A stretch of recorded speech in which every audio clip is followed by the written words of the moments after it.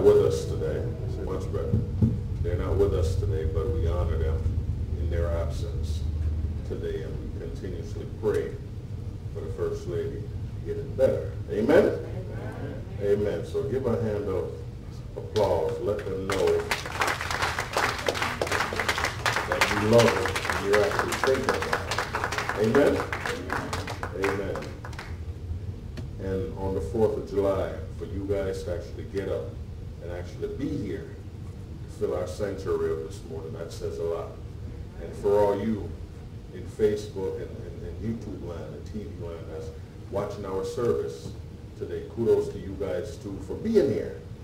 I have gotten a good word for you today. Got a good word. I always say this is something I don't usually have the privilege of, of, of having a whole message a whole week and studying it and having it ready. My wife would tell you, I get it 5, 6 in the morning, Sunday morning. So I can never say that I did that, I did that. Something that, you know, the Holy Spirit bring to me. So that's how I know it's something that we're supposed to, something that I'm supposed to teach. Amen? Everybody say amen. So this morning, what we're going to talk about is a godly heart. And I think it's appropriate, everything that we're dealing with now. We know about the physical heart. And just reading about the heart too. The heart has two chambers, four different ventricles, but from one thing I've read and I've studied about the heart, the heart is pretty much the universe temple of the body where blood flow, nutrients go out, and they said the body, the heart feeds the tissue of the body. I'm not a doctor, but just something I read. The heart feeds the tissue and, and, and pretty much blood flows to everywhere else. So the heart is important. In addition to the physical heart being important, the, the, the spiritual heart, which is the soul of the man, is also important too. I say amen. amen. So that's what we're going to talk about uh, today is a, is a godly heart. So everybody turn your Bibles to 1 Samuel chapter 16, verses 5 through 7. 1 Samuel chapter 16, verses 5 through 7.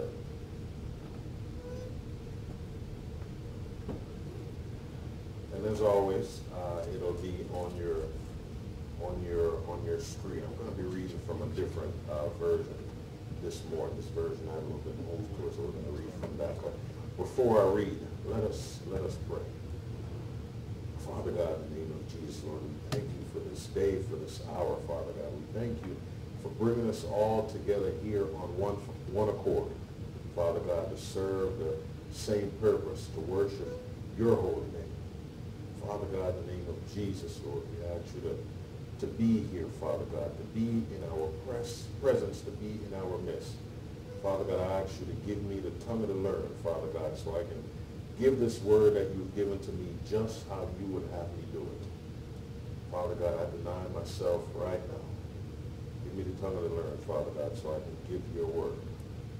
In Jesus' name, amen. amen. A godly heart. So here in 1 Samuel chapter 16, if you read before, when you get a chance, read it for yourself. But if you read before, it um, Saul's time is coming. King Saul is coming to an end. So God has given Samuel instructions now, as far as I'm going to send you out and we're going to find a, a, a, new king.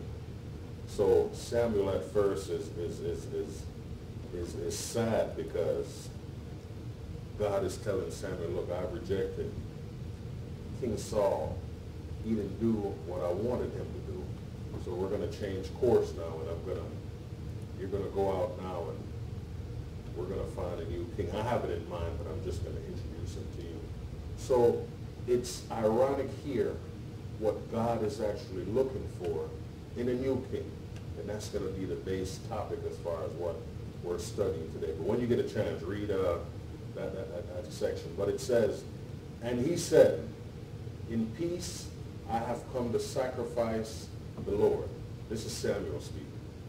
He said, consecrate yourselves and come with me to the sacrifice.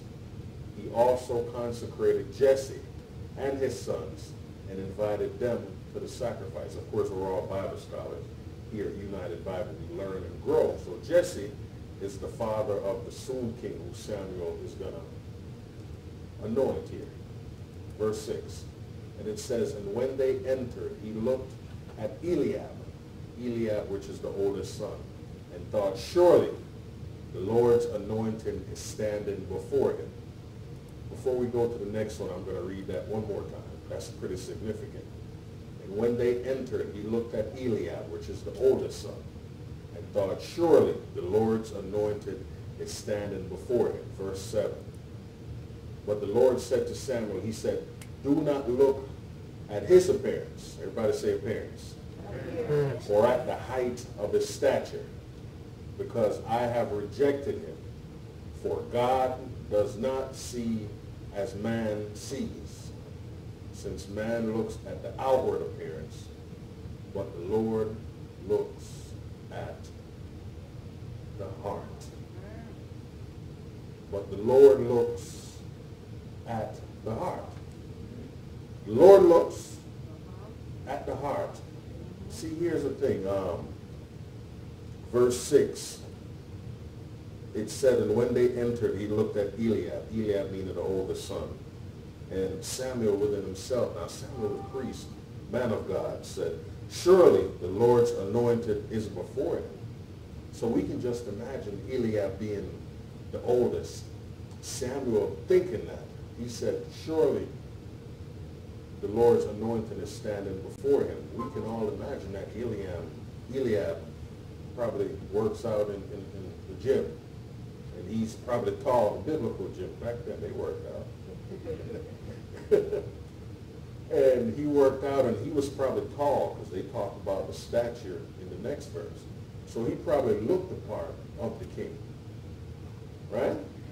But that's why God corrected him in verse 7 and he was corrected. He said, no, God doesn't look at how good you dress, how good you dress it up. God doesn't look that way. God looks at what's here. So that's what I want to talk about today is a godly heart. What makes up a godly heart? Are we there 100%? Are we there cleanly? No. But there's ways that we can work to that. And we don't want to be able to dress up. God sees through everything that we that we have on the outside. God sees through everything. So God really looks at a man's heart. It's been said that David is a man of God's own heart. Why David? Think about it. David was a lowly shepherd boy. He was the antithesis of what supposed king was supposed to be. Remember when they described Saul, what Saul was? They said Saul was very good looking. Saul was tall. Saul was, was muscular. David wasn't Saul. David was a boy. And David was a shepherd boy. Basically, his job was not to be on the, the battle lines like his brothers. His job was to go take care of the sheep. And he had a staff, and he'll stay out there all day. And he'll watch the sheep. A lion or anybody attack the sheep, that's his job to really protect the sheep, right? And we've known in scriptures that David did what he was supposed to do. But why, why David? What characteristics did David have that God looked over everybody else and actually went to, to, to, to, to David? There's one thing that David did that a lot of people would not do. Brother Snoddy read that this morning where a song from Psalms that he read, verses 1, 2, and 3. I forgot the chapter. But if you look at Psalms, however many books it is, what David wrote is pretty much songs of praise as far as him praising God. David praised God often. David loved God. Was David perfect? No. We found out later on in David's life, David wasn't perfect. But the thing is, David loved God, David was willing to grow in God or through God. He was willing to grow. That was the what why David was a man after God's heart. David was willing to, to, to, to, to be taught. David was willing to deny himself to be able to go out and do what he has to do. Say amen. You guys are quiet. I know we have 4th of July today, but listen to what, what I'm saying. As far as a godly heart, it begins with disobe- it begins with obedience, excuse me. It's the first thing, it begins with obedience. But first and foremost, it begins with loving God with everything you have inside of you. Because if you love God with everything that you have, you're willing to do, including denying yourself, to do anything you have to do to serve God. Amen? Amen. Amen. So if you think about David, lowly shepherd boy. Remember David brought lunch to his brothers on the front line? And you remember what his brother said to him? Where's the sheep? And I'm paraphrasing. Where's the sheep? You're not supposed to be here with us and leaving all those few sheep back there. So they didn't expect David, much less as a warrior, when before he fought Goliath, but to be much of a king. You get what I'm saying? So I'm trying to paint the picture as far as David, who David is. So what are the ingredients for a godly heart? The Bible gives us that. It's a start. Galatians chapter 5, verses 20 through 22 through 23. Everybody turn there. Galatians chapter 5, verses 22 through 23. We have a little bit of time. I want to go through all these today. But Galatians chapter 5. So your, your, your, your manly heart, your physical heart, what is the best way to strengthen your heart? Heart's a muscle, so it can be exercised. What's the best way to, to strengthen your heart? It's to do exercise, right?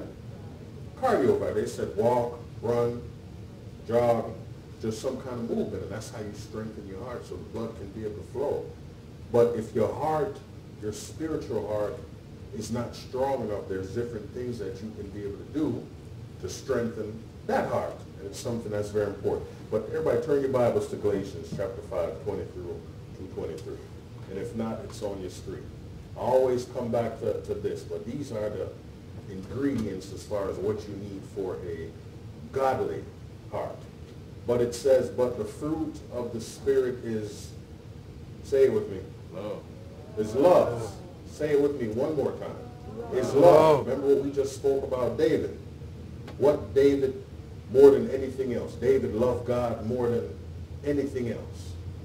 In order for David to write the songs of praise that he wrote, that means David had joy about it. Are you understanding? Am I saying David had joy about him? So the first one is love. The second thing is, is joy. It says the enemy comes to, to cheat, to, to steal, and to destroy. So what the enemy wants to do, and we see it in the news and we see it everywhere around us, he wants to take away joy. But what he wants to do is to stop love. Love for God. We're seeing that now. Amen. But here's the other thing. It's love for each other. More so than anything, that's what God wants us to have. Love for him. The Bible says, and I don't have the verse in front of me, but it says, how can you love a God that you can see, but then you hate a brother that you can see? Did I just say something? Yes. How can you love a God that you cannot see, but you hate a brother that you can see? Regardless of what lines you're on or wherever you are, God wants us to love, whether the same or different. Amen? Amen. So that's it. Ingredients to a godly heart is love. What's the second one? Joy. Is joy. Do not let anybody steal your joy. Amen. You're going to be a robot and, and, and be perfect and be happy all the time? No, you're not. Am I happy all the time? No. But here's the thing. And I'm pretty sure David did this, and I'm using David as an example. I'm pretty sure David did this. David made it very important to get up every single morning. Brother Snoddy just read this. That he had to have joy. For one, you cannot write a song without joy in your heart. Am I correct? You have to have joy in your heart. So David, for one, he loved. for one, he had joy in his heart. The third thing is peace. Mm. It's peace. Mm. Everybody say peace. Peace. It's peace. What do I mean by peace? Peace, the deacon said peace is in you, and he's correct. Yep.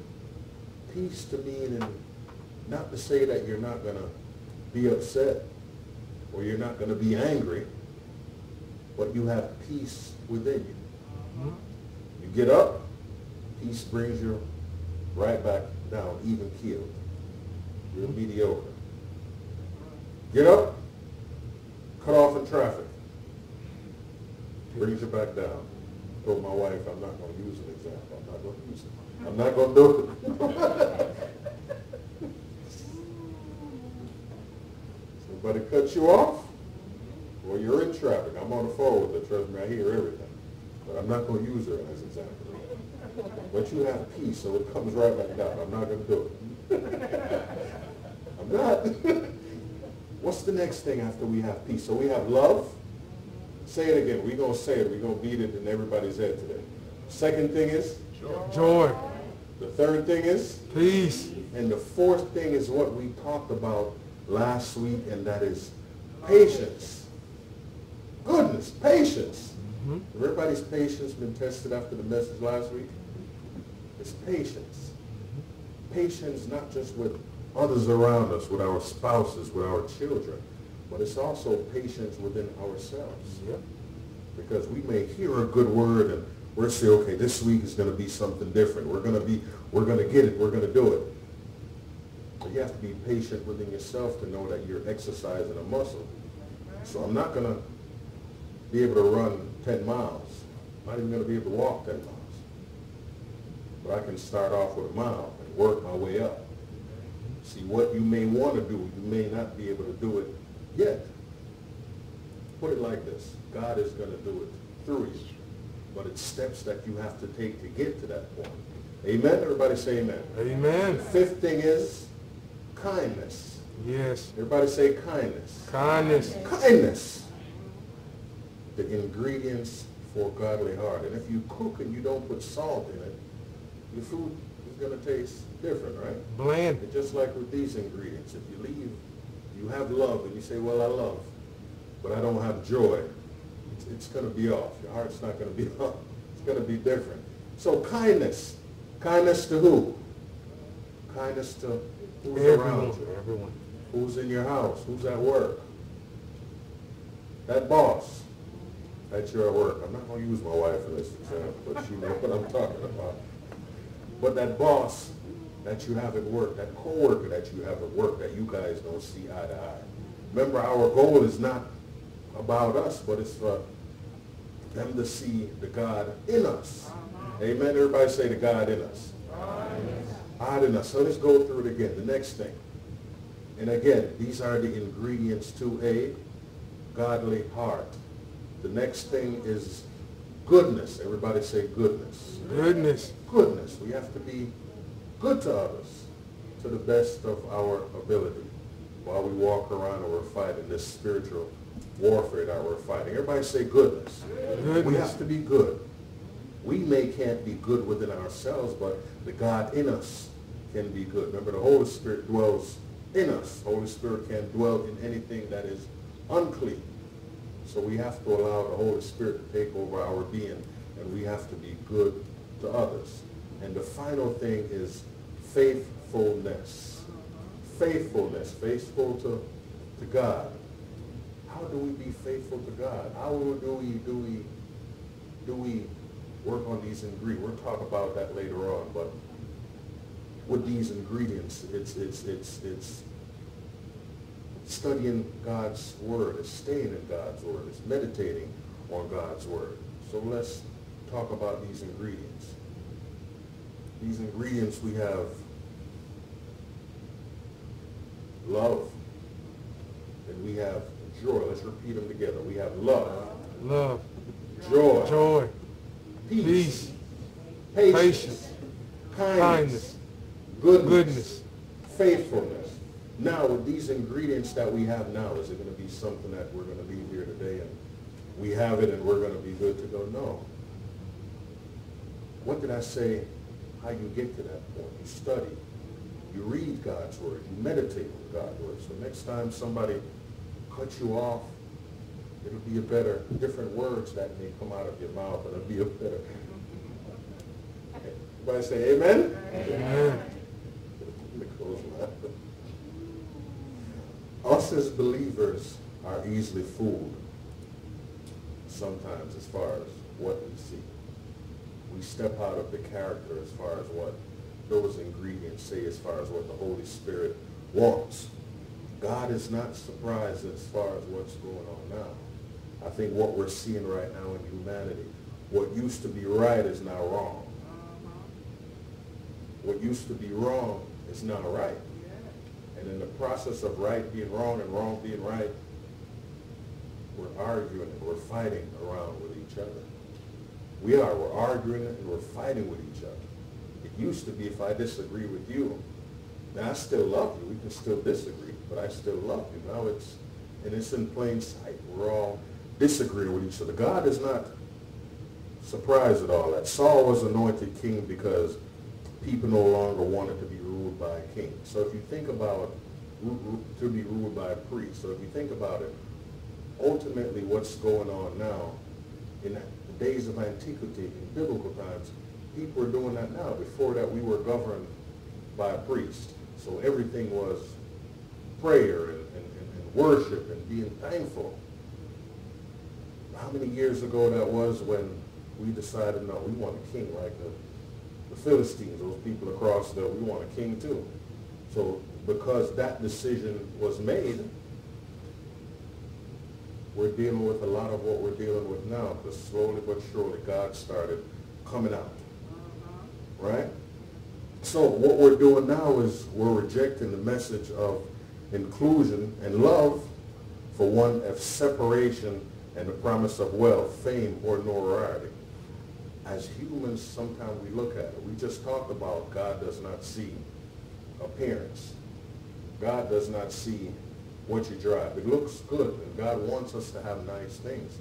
But us, as human beings, we tend to look at nice things, and we love based off that, and we respect based off that. Am I lying?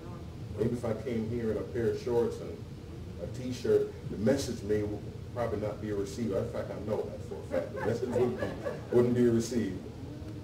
Matter of fact, I wouldn't take me serious. So as humans, that's what we do. So the thing is what God is, what it's ultimately saying is that it's not who's the, the best dressed or who looks good on the outside. God looks in here. Amen? Everybody say in, in your heart.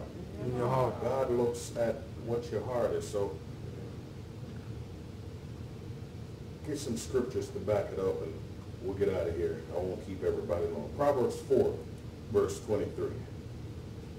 Proverbs 4, verse 23.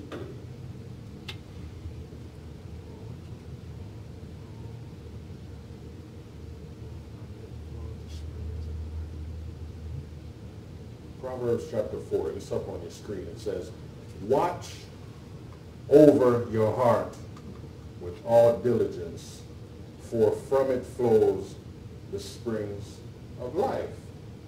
Say it again. Watch over your heart with all diligence, for from it flows the springs of life. Not my words, but God's word. So with everything flowing from the springs of life. So what is flowing from your heart? Is love flowing from your heart? Remember what's flowing from your heart. It says it from the springs of life. So from the springs of life, that becomes you who you are. So who are you? Are you a loving person or are you angry? Are you loving or are you hateful? Are you a joyful person or are you mad all the time? Are you a good person or are you a bad person? We're doing same and opposite, right? not my words, but it says, watch over your heart with all diligence, for from it flows the spring of life. Here's something that, in studying for this, I, I, I got a little notes. It says, the heart commonly refers to the mind as the center of thinking and reason, but also includes the emotions. There go that E word again. And thus, the whole inner being. The heart is the depository of all wisdom and the source of whatever affects speech and conduct. So, long story short, what I just said, whatever is in your heart, whatever ingredients, whether it be those that we studied, or whatever it was that was in your heart, it becomes your speech. Says here it becomes also your conduct. Right? None of us is perfect. We talk about me. I'm not perfect. So whenever something happens, automatically, is these ingredients what's in mind and I'm coming up and no. But let me tell you what I'm working on or what I'm striving for. I'm studying God's word. And I'm meditating on God's word. I make God's word become a part of me. So each time a particular situation happens, I'll know how to deal with it. Then it becomes subconscious. I don't have to think about it. The Holy Spirit is dwelling inside me, and the Holy Spirit will give you every single reaction you're supposed to have. Amen? Amen. Amen. Amen. Amen. Romans chapter 12, verse 2. Romans chapter 12, verse 2. Just driving a point home. Then we're all going to go home. Romans chapter 12, verse 2. And this is my favorite one.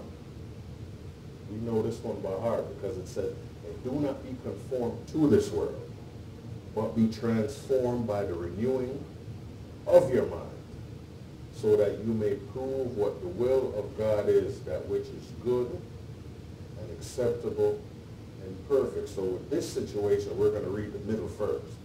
It says, so that we may prove what the will of God is not Minister Burris's will or your will, but what's God's will is.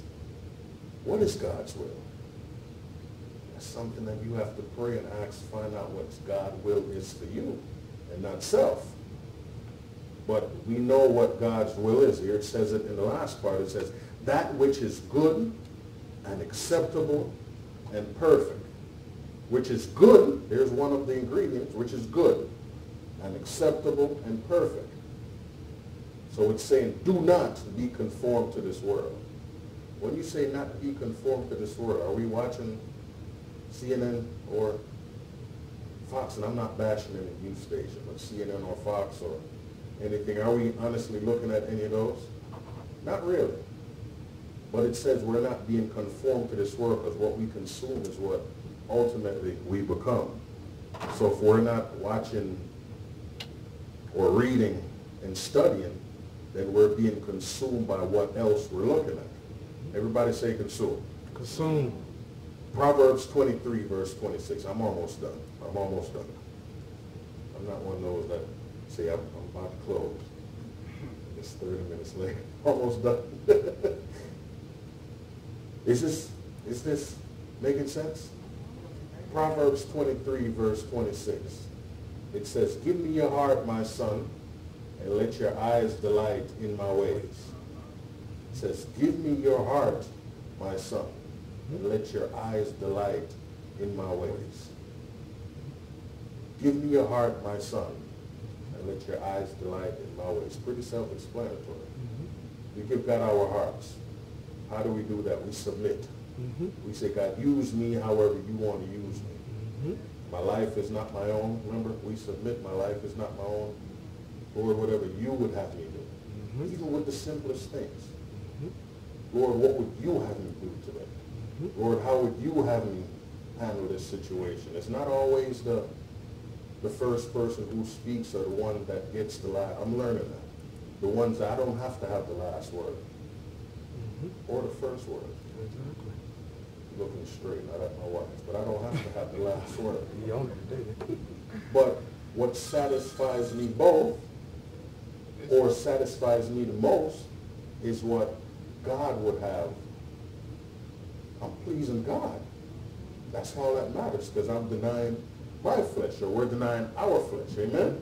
Amen. Amen. Last Last one, Psalms 51, verse 10. Psalms 51, verse 10. And it says, create in me a clean heart, God, and renew a steadfast spirit within me. David wrote this. Mhm. So remember we said earlier, David was a man after God's own heart. It's for reasons like this. Everybody say that together. Create in me a clean heart. Clean heart. Let's stop. Let's do it again so we're all on one accord. Let's read it together in unison. Ready? Read. Create in me a clean heart, God, God, and renew a steadfast spirit within me. So this is where you start right now. Whether your heart is clean in your eyes or it's clean in God's eyes, God's eyes. But this is where you put the period and start the new sentence. This is what we say. We say, create in me a clean heart, God. This is us saying it to our Lord. So create in me, God, a clean heart. And renew. Renew meaning start over. You're renewing something. You're saying within yourself, Father God, I'm submitting everything.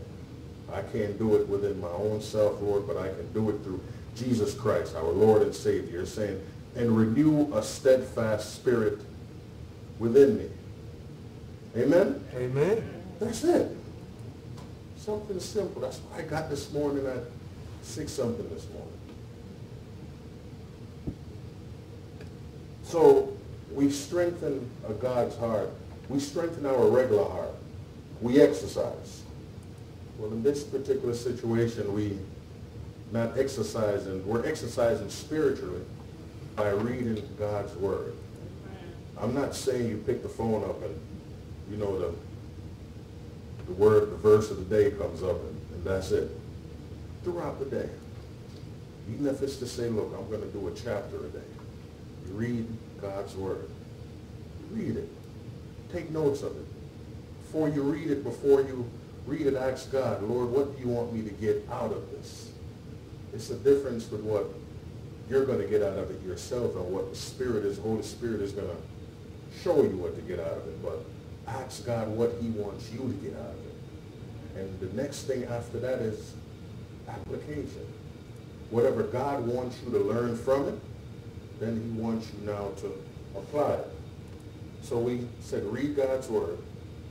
We said we're going to study God's word. And the last thing we're going to do is meditate on God's word. We're in traffic. We're driving or at work. Somebody say something to you that you don't like, that upsets you. That word that you read, that word that you studied, and that same word that you meditate on, you get a different outcome. So what are you doing at this particular point? You're strengthening your heart. And we're given different outcomes. Not the same outcome that we're used to giving. We're given different outcomes. Amen? I started eating right a week ago. Let me give y'all an example that I'm going to sit down. Lost a few pounds in one week. Matter of fact, let me tell you why I did it. Last week's sermon, I went back and watched it, and all I saw was this.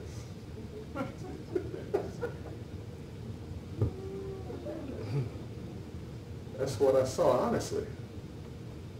I saw what I said secondary, but I saw that first. I had to go back and it's like, God, you put a lot in me. But I saw that. I thought, I got to do something about it. So I'm exercising and doing something different. So I'm happy with the results so far. Right? But guess, thank you. But guess what I got to do? I got to keep doing it. Yes. It's just like how we strengthen our heart. They said if you want a different result, you don't do the same thing over and over again. Because what do you call that, madness? Well, right is just so, if we're going to get a difference out of what's in here, our inside, our spiritual heart, then we have to do something different. So that's the, that's the blueprint. It's nothing I made up. It's everything that was in here. It's everything that was in here. What do we call it? We call that the fruit of the Spirit. So that's how we do it. That's how we exercise. And that's how we get it. And we thank God for bringing us together here on one accord. Today, everybody stand to your feet. Godly heart, thank you. Everybody stand to your feet and give God some praise in this place.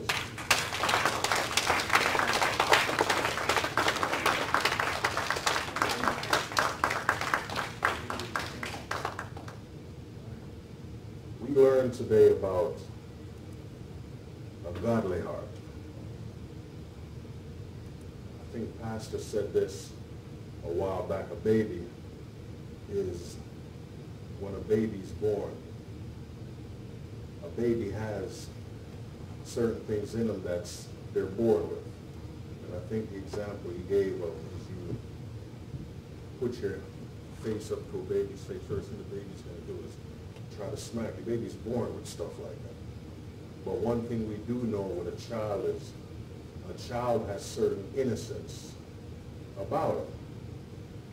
What changes that innocence a lot of times is, is us.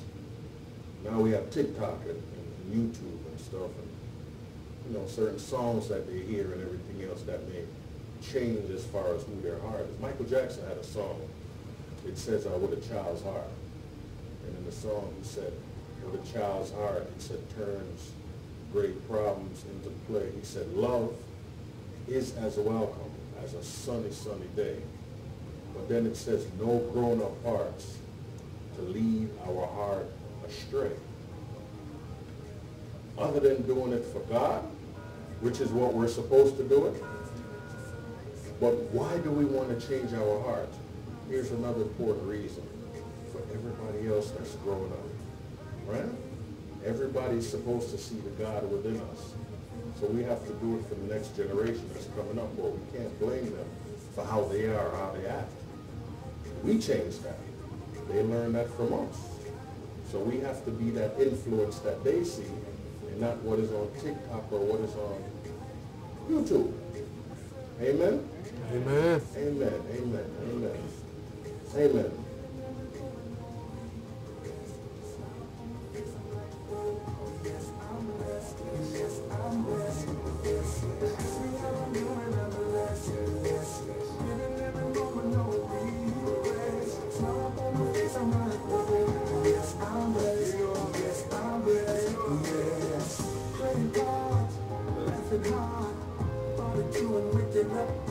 This part of the service, this part of the service is, is we have our altar call. United Bible, you know, our motto here is that we learn and we grow. We learn and we grow. We don't know everything. Everything's in the Bible. But we have Bible studies every Wednesday, starting at 6.30, and we have service starting at 10. But the one thing we do here is that we learn grow. So as our deacons come up front and we open up the doors of our church, just want to know, is there anybody here today that is looking for a church home? Maybe you have a church home already, but you want to rededicate